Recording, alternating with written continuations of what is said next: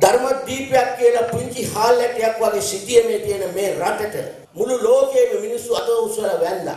ඇයි අපේ හොඳ උදාර සංස්කෘතියක් තිබුණා. උදාර මිනිස්කමක් තිබුණා. අපේ හිතේ නෑ ගෙවල් දීලි තියෙන මිනිස්සු. අපේ හිතේ නෑ අනිත් මිනිස්සුන්ට පොළු අරන් ගහන මිනිස්සු. ඇස් මස් අපගේ පූජා කරලා මේ දේශේ රැකපු මිනිස්සු මේ රටේ හිටියේ. අද මේ රට අසරණ වෙලා තියෙන්නේ. මේ රටේ අනාගත පරපුර කොහෙද යන්නේ? දැන් හිටපු නායකයා අර රටට යනවා ඉන්න දෙයක් නැහැ. මේක රටක්ද? මේ රටේ ලක්ෂ ගාන ඡන්දෙ දීලා පුටුවේ දීපු මිනිස්සයාට හිඟමනේ යන්නේ හැදුවේ කවුද? මේ රටේ ඉන්න ජනතාවයි. මේ ජනතාව බුද්ධිමත් වෙන්න ඕන. මම අවුරුදු 50ක් විතර දැන් ජපානයේ මම කවදාකවත් දැකලා නැහැ උද්ඝෝෂණයක්. අපේ රටේ 24 පෑම උද්ඝෝෂණ. මේක රටක්ද?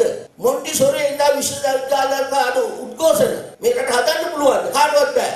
එහෙනම් මේ උද්ඝෝෂණ නැතුව මේ වෘත්ති සමිතින සත පහකට වැඩක් නැති වෘත්ති සමිති මේ ලංකාවේ තියෙන්නේ. වෘත්ති සමිතිකාරයෝ මේ රට කන්නේ. බයි නතු කියන්න ඕනේ මොකද? දේශපාලනය කියන්නේ රට පාලනය කරන එකයි. මිනිස්සුගේ ගෙවල් දින් තියෙන එක නෙමෙයි. අපේ රට පිටරට සල්ලි නැති කයි මේ ප්‍රශ්නේ. වෙන මොනවාක්වත් මේ රටේ ප්‍රශ්න නැහැ. මේ ඔක්කොම විසඳන්න පුළුවන්. ඒ භයානකම වෙලාවේ හැමෝම බෑ කියපු වෙලාවේ මේක බාරගත්තේ වර්තමාන අපේ ජනාධිපති රනිල් වික්‍රමසිංහ මැතිතුමා. දැන් එතුමාගේ දොස් කියකේ බැන බැන ඉන්න එක නෙමෙයි අනිත් අයට තියෙන යුතුයකම. අපේ රටත් රැක ගන්න අපේ පුතු වෙන්න ඕනේ කියන දර්ශනයකට එන්න ඕන දේශපාලන නායකයෝ.